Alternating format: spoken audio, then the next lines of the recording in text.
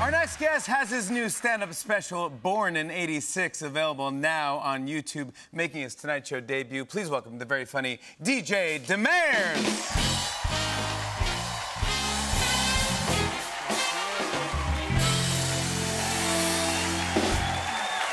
Hello. How are ya?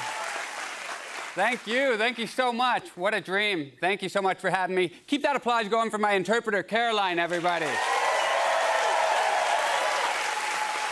Yeah. Yeah, I wanted to. I wanted to have an interpreter. I wanted to make sure that uh, all my deaf homies could appreciate the show as well, and because I'm deaf, you know, I'm, I'm not full deaf. I wear hearing aids. Uh, I actually don't know sign language myself. I'm bad at being deaf, but uh, I'm not good at hearing either. I, am like a day walker. I don't. I don't know where I belong, but. Uh, I actually learned recently there's a bit of a beef between the deaf and hard of hearing communities, uh, a quiet beef, but, uh, but, uh, but a beef nonetheless. But uh, I want no part of that. I got nothing but love for everybody, deaf people. I've never felt deafer than I did during this pandemic. For real, man. Everybody's had a mask on. I haven't had a real conversation in two years. I don't know. Honestly, for real. Oh my God. It's been brutal. People used to always ask me, like, how much can you actually hear and how much are you, like, lip reading? And uh, now that everybody's been covering their mouth, I was finally able to run the numbers. And it uh, turns out I'm lip reading 100% of the time. So, yeah. Yeah. Man, oh man. The worst is when they have a mask on and they're behind plexiglass. You know, you walk into the bank, you're looking at a guy, he's got the mask on, he's behind the glass. I just got, I'm staring at the teller for like 10 seconds before I'm finally just like, hey man, have you started talking yet? I legitimately have no idea. Yeah. Man, if this is important, could you, uh, this is important, could you like write it on a piece of paper and put it up against the glass like a, like a reverse robbery situation? Man. I don't know sign language, but I realized that it might be time for me to learn, you know? but uh, that wasn't learned, by the way, that was poop. But uh, that was a joke for my deaf homies. Might have ruined the joke by explaining it, but I had to for my blind homies. Uh, yeah. Had to do it. Yeah. I knew the pandemic was real when they took all the sports away. That's when I knew you know, because I'm an idiot. Like when I first started hearing about COVID, I was one of those morons. I was like, guys, this will be over in four or five days. We'll be back to business. And then they took all the sports away. I was like, it's pretty serious, guys. It's pretty serious. They took all the sports away. We should probably start washing our hands. Uh, they took them all away, and I love sports. Like, I need sports. When they took them away, like, I love every sport. Violent sports. I mean, it is a bit difficult for me to watch violent sports sometimes because I played a lot of hockey growing up, and I got a lot of concussions, and I feel like they might have scrambled my brain a little bit, but I don't know. I just love violent sports. It is a little hard for me to watch violent sports sometimes, though, because I played a lot of hockey growing up, and I got a lot of concussions, and uh, yeah.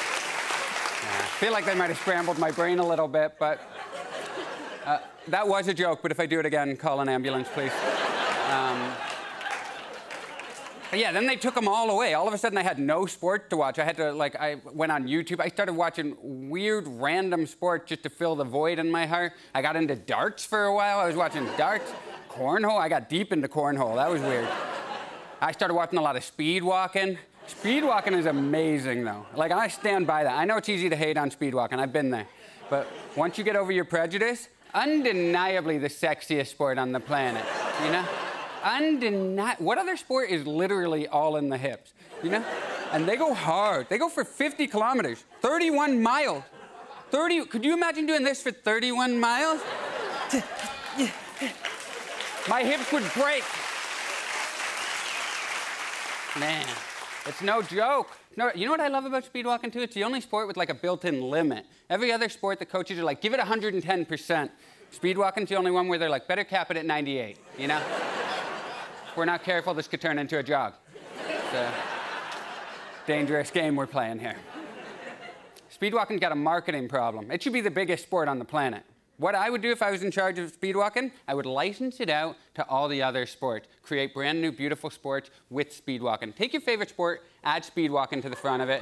You got a beautiful, think of any sport you want. Speedwalking baseball. You see it? You see it, right? A guy up to bat, hits the ball to the left field gap. He's going down the third field. Come, outfielder trying to track it down. Come on. Speed walking football. Could you imagine speed walking just hut? Receiver trying to get it.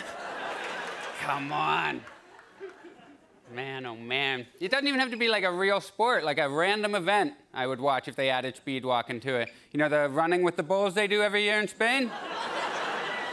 Big deal. Anybody can run with the bulls. Let's see what you're really made out of, you know?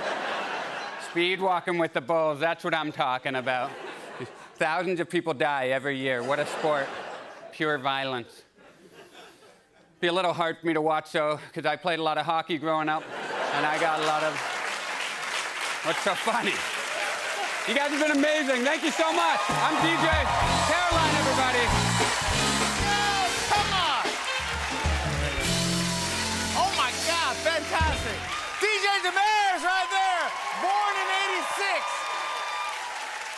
is available now on YouTube. We'll be right back, everybody. Come on back. Hey.